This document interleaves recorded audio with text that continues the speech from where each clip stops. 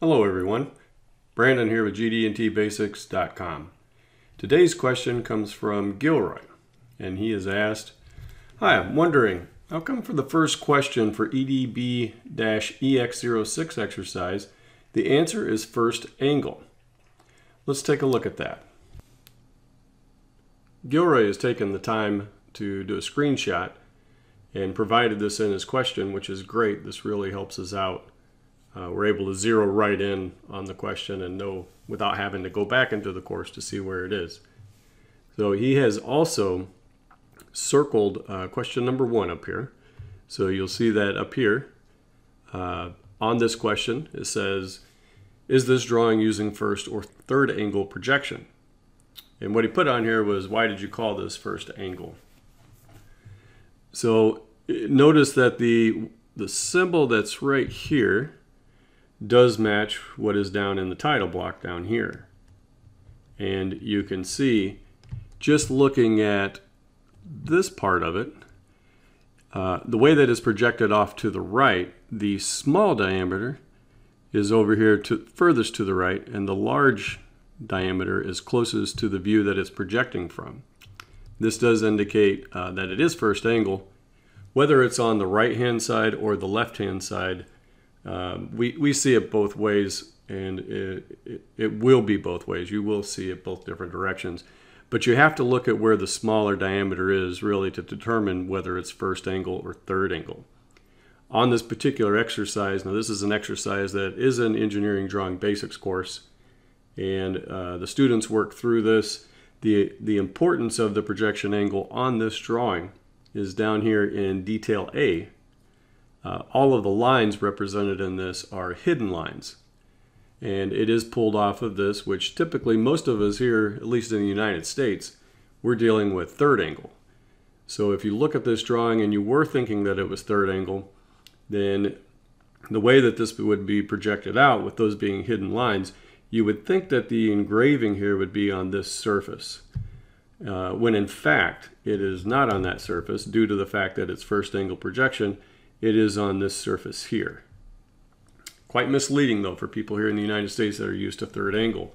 And some of you may not deal with first angle at all, which is uh, makes your job a lot easier.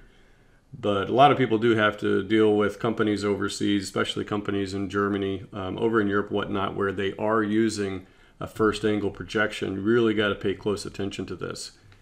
And uh, next slide here, we're going to take a look at the salad bowl method projection, which really helps to clear things up.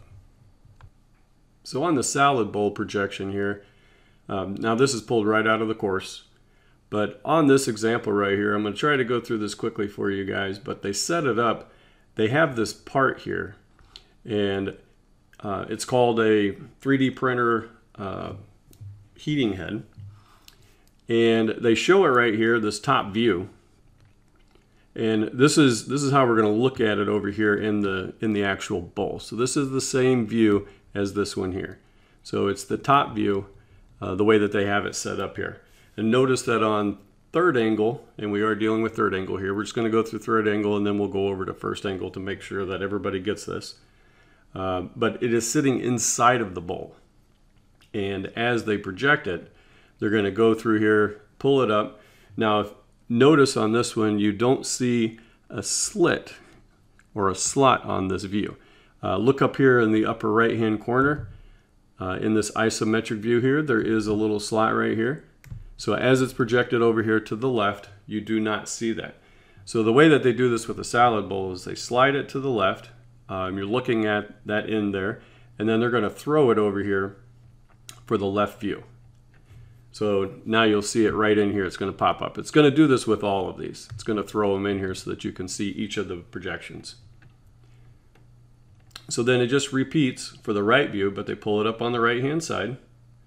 Um, now look up here, you do see that slot in here. So they have added that in now. So that will be over here on the right side.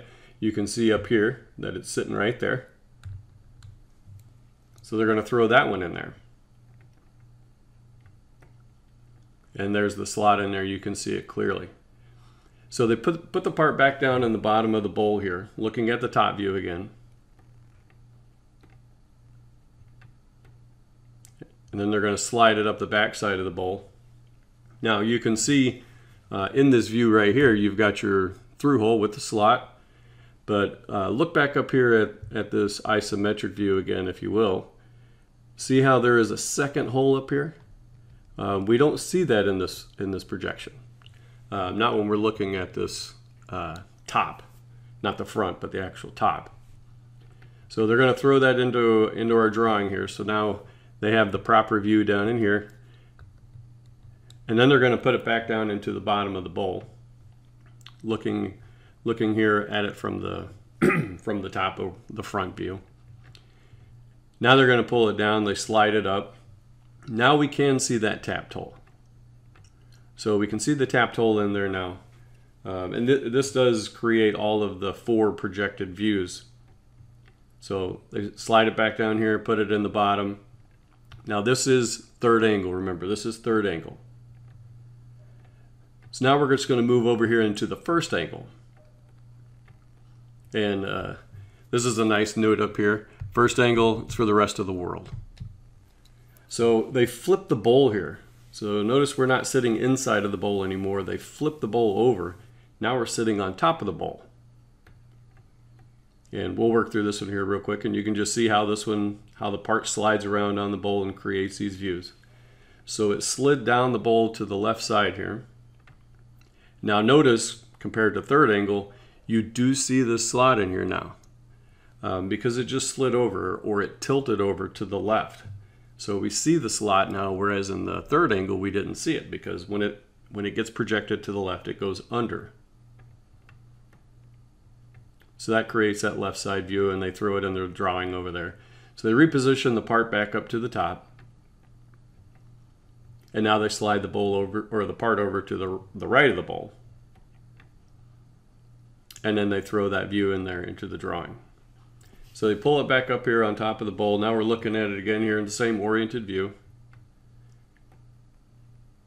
And then they slide down the, I call it the back side, but they slide down, they slide up and over, and then throw that view in here into the drawing.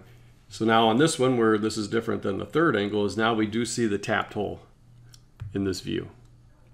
So that tapped hole is right there with the through hole and the slot. Remember, that wasn't like that in the third. We were seeing the opposite side.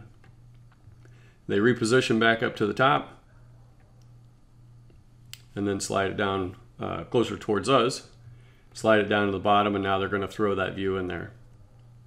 So there are the four proper views for first angle. Okay guys, so um, hopefully that, that clears that up, uh, the difference between fir first angle and third angle. And for Gilroy, um, I hope this explains this for you quite well. Uh, that drawing did have the right projection angle symbol on it, uh, but the cone was over to the right. That does throw a lot of people off because a lot of people think the cone must be, if it's third angle to the right, if it's first angle to the left. Uh, that's not entirely true. It back in the day that was a uh, like a best practice where if it was first angle they would put the cone to the left uh, but again, you're just looking at where that big diameter is versus the small diameter on that plug symbol on there. Look for, look for that, and it doesn't matter how they project it. You'll always know the difference between first angle and third angle. Thanks, guys. Keep checking out our videos. I hope this helps. Um, we'll be releasing another one shortly. Thank you.